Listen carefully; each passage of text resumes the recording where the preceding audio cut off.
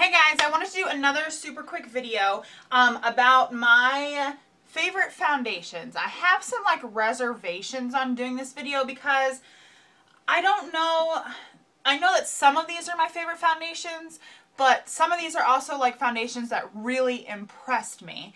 Um, I have oily, mainly oily skin, acne prone skin, um, I have a lot of, maybe not a lot of, but some scarring, some redness. So I like to look for super good coverage foundations.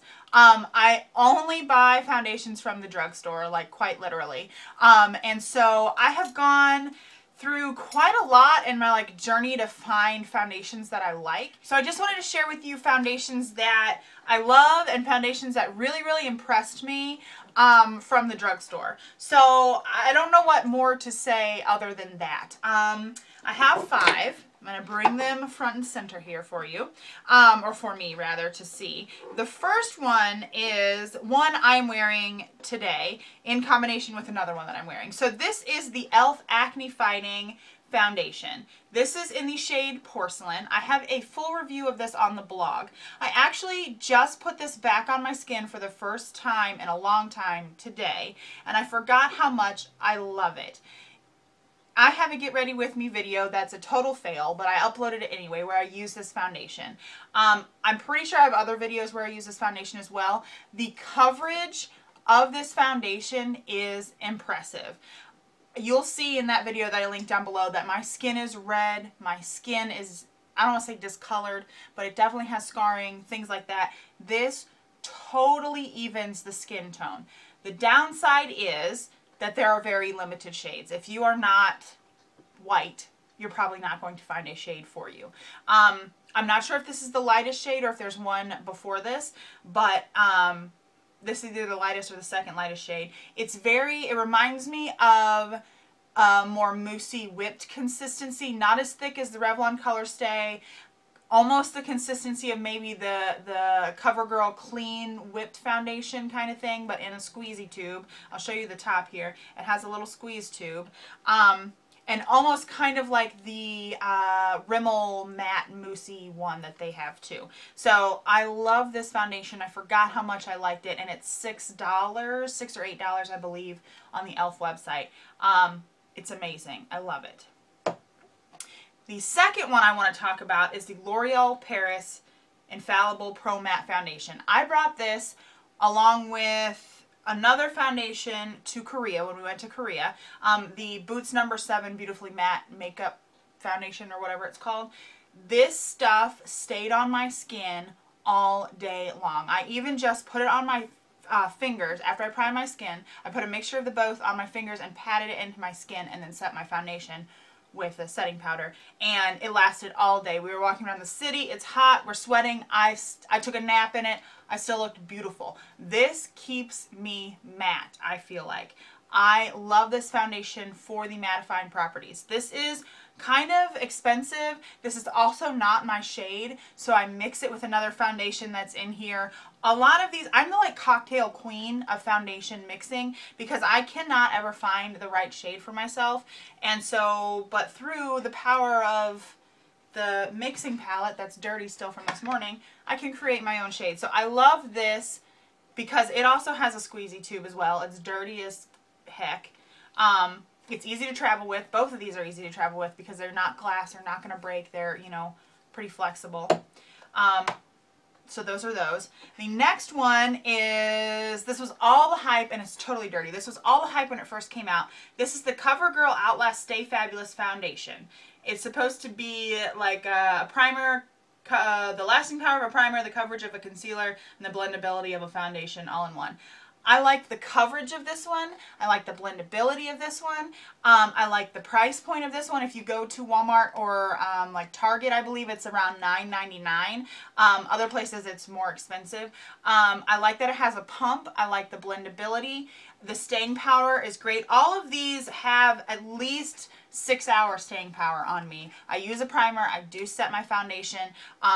And I try to blot throughout the day, but none of these really have any transfer. They don't have any, um, um, I don't know, they don't melt off my face. My face doesn't eat my foundation, which I'll talk about that in another one as well.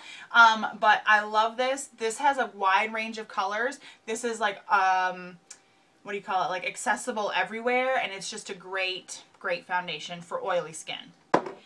The next one is also sort of a, an acne fighting foundation. This is the Almay Clear Complexion Makeup Blemish Heal Technology. I used to use this when I was in high school and I repurchased this recently just to see how it worked um, on my skin. I don't know if any of these acne fighting ones really do anything you know, to to promote healing or whatnot, but it can't hurt. It doesn't seem to hurt. Um, the coverage on this is amazing. It is in a glass bottle with a pump. The old one was just in like a pour type of bottle, um, like you have to pour it on the back of your hand or something. The coverage on it is great. The staying power on it is great. There is there's a few the range selection for this is not as wide as this.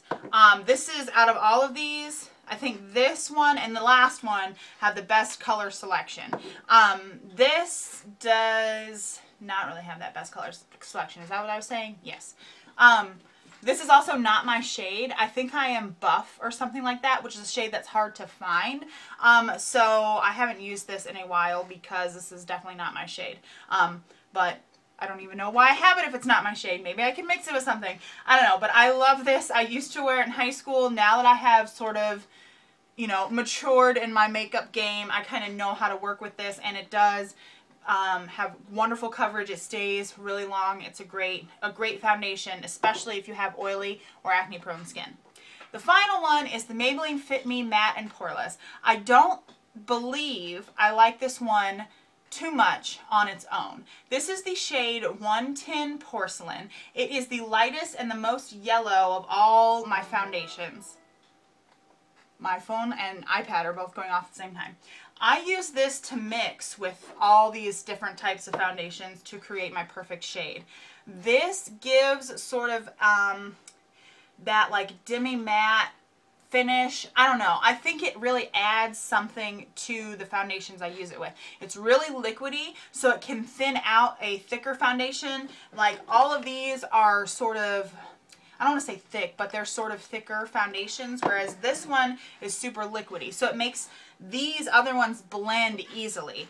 Um, this has a wide range of shades as well. They also have the Maybelline Fit Me Dewy and something smooth or whatever.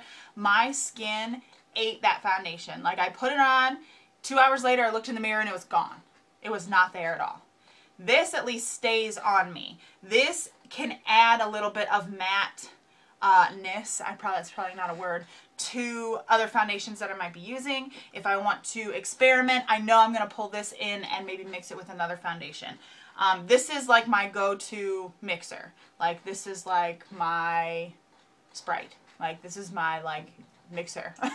so I love this for creating those foundation cocktails. So those are all five of my like most impressed by foundations, my favorite foundations from the drugstore, foundations that I want to scream about and tell people about. Um, so I hope this video was sort of helpful. It was kind of like a weird video to do. I didn't really know what I was going to talk about, but I knew I wanted to share the foundations from the drugstore that are super impressive to me, um, especially with someone who has oily skin and uh, acne prone skin. So I hope you enjoyed this video. If you did, go ahead and give it a thumbs up. I would appreciate it. You can subscribe as well. Stick around. Watch some more videos. I would love for you to do that as well.